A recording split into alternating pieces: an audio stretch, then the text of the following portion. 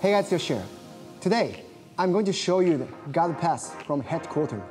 Headquarter is getting popular position. People like to use a lot to stay in a good range. It's not too far and not too close to an opponent. Then you can easily change the distance and angle. In this video, I'm going to show you two types of guard passes from that position.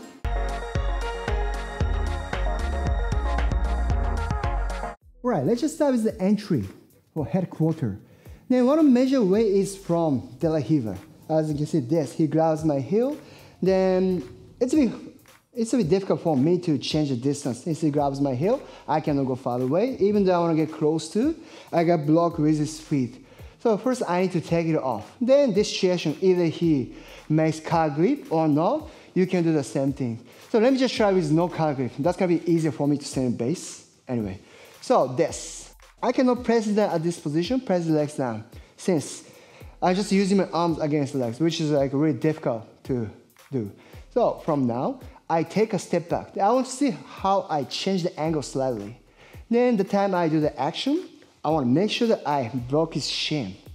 That needs to be closer to his ankles, right? Not around his knees like this. This is great grips. I'll show you later how to grab this one, but in this phase, in order to take off his feet, I want to grab his shin like this. Then from now, I take a step back. Like, like keep his ankle, shins at the same spot with a stiff arm. I don't literally need to press down with my arm. I just want to make stiff arm. Then as I change the position like, like this, I can take it off. This is where I like to do that. Then from this, I want to get to the headquarter. But as you can see, I'm just covering top part of shins with my arms. So from now, I just want to replace as if I'm sitting down on his ankle like this. Then I shot the other side leg as well. See? This is not tight enough. If I just only stay here, Henry can remake a reverse like, uh, De La Riva like this. Then I'm in trouble. That's why until I sit down on his ankle, I want to keep his left leg away like this. Then let me show you how to make base, basing. As you can see that I stay below his belly line, which is very important, not to overcommit. In terms of pressure, yes, I want to drive my weight forward as much as possible. Then I can put the pressure with using my body weight, which means I'm overcommitting. Once he can elevate my hips, he's be able to throw like this, especially from this position. He wants to keep the car grip. Then once he grabs, he can easily throw me forward. Then I lost the base in the posture. He recovers the position like this. So it's really common. That's why in this situation, I want you to stay below your partner's belly line. So ideally around here. See, literally I'm sitting down on his ankle. It's not necessary for me to drive my weight on him. Like this. Really nice and easy. Even though he grabs my collar, it's not a problem. Can you pull me, Trev? Something like that. It's pretty difficult to do that since I don't lean forward. Then once I clear his ankle lines, now I want to make a flame around his knee and on his upper body. Then this time, I want to start with the right hand. So from this position, I grab his car like this. The car grip needs to be below his chest line. Otherwise, I'm exposing my arm like this. Like Otavio Sousa or like some of the top players, they can do straight arm lock by raising hips up like this. So in order to avoid, the grip needs to be a little lower, like this, like right above his belly. Then once I set up, I want to connect my knee and elbow like this. Then this time, I want to make sure that I get my elbow outside my knee like this. Some people like to go inside like this, but in order to avoid De hook, I want to go like this, like a sharp space down. So physically, Henry cannot find a space to really make De La So this is how I like to do on this side.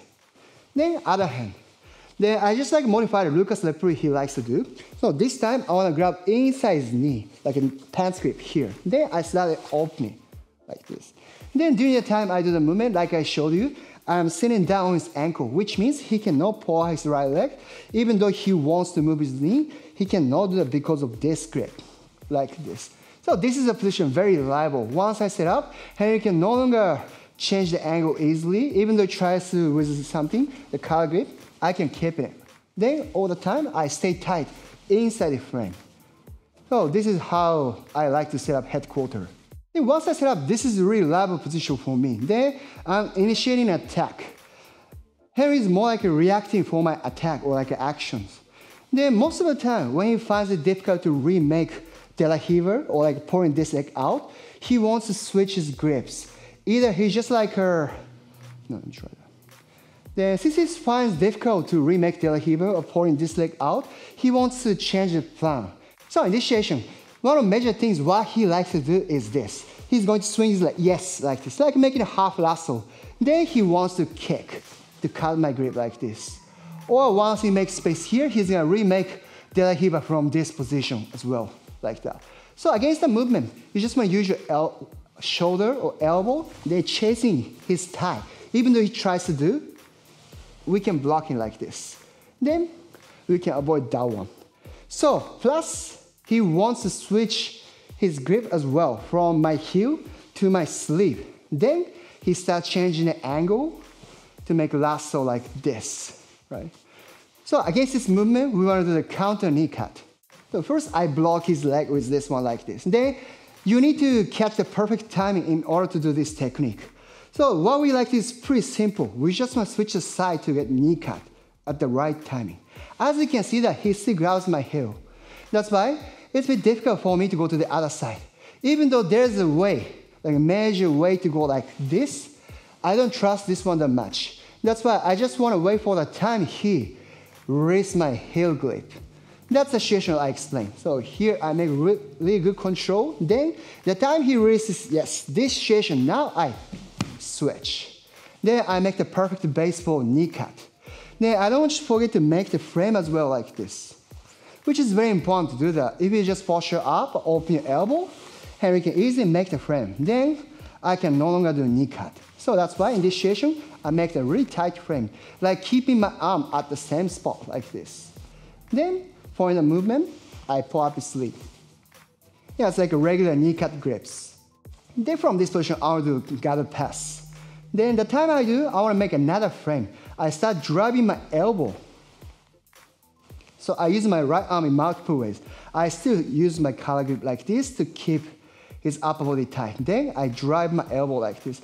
By the time I do the man, that's less space. Henry can no longer find a space to get knee shield. Then if he's super flexible, he may be swing like that way, but probably he cannot do. Anyhow, so you just want to avoid it by moving like this. Then don't forget to pull asleep. This is a great way to keep him flat on the ground. Then all I do is pretty simple. I just slide out, then I complete the gather pass. Either I end up in upper body control or hip to hip. I'm not going to explain that much detail today, since I just wanted to explain how to get into knee cut from it. Yeah, sometimes he may grab my car when he plays De La Riva against headquarter. So in that case, you just want to simply pull out the elbow, which is better than grabbing the elbow sleeve like this. This is more leverage to keep him on the ground. I drive my elbow, then I do knee cut.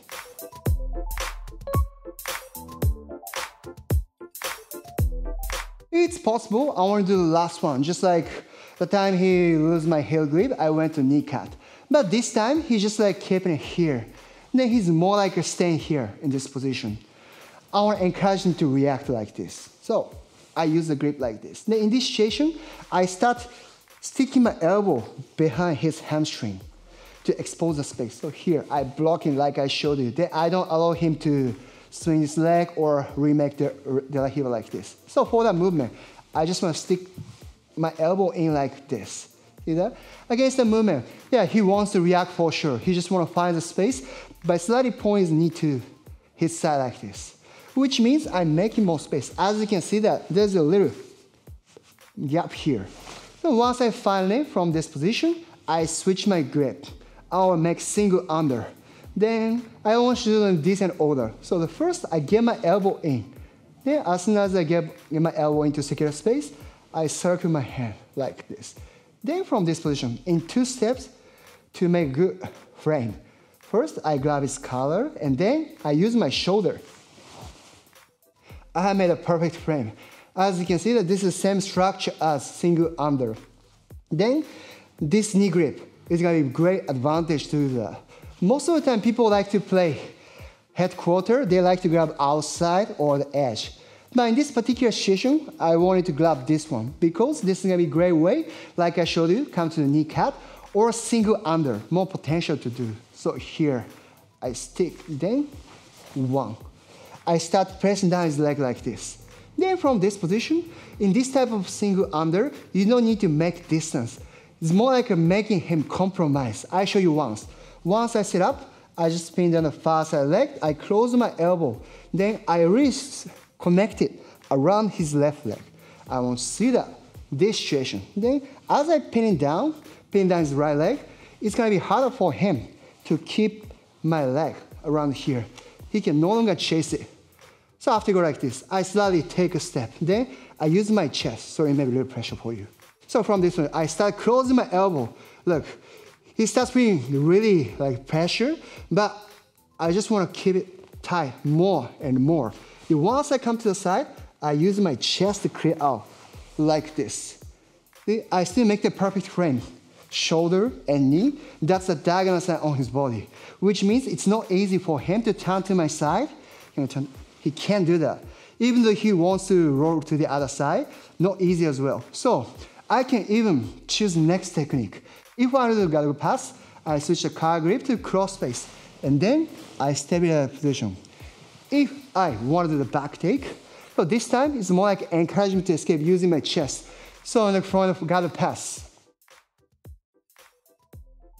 this. Then when he escapes the turtle, yeah, the back take.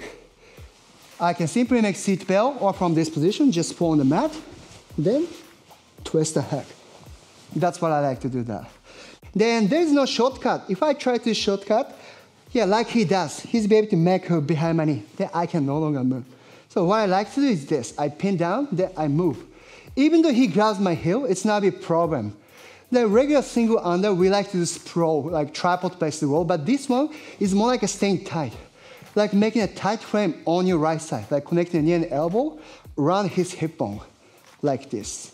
Then even though he tries to push me back, I'm making better frame than he has. That's why I just keep it. Like I can say, I can stay here all day. Then I just compromise him. Then after I come to the side, either I make cross face or encourage to go to the turtle. Then I do back take. Thank you guys for watching. If you like this video, please just hit the like button, leave us any comment down below. And don't forget to subscribe channel if you haven't done it yet. Also, we have just launched channel membership. If you're happy with supporting our channel, that'll be great help to create high quality contents. You can find the link to join in the description. I'll you guys catch you next one. Bye.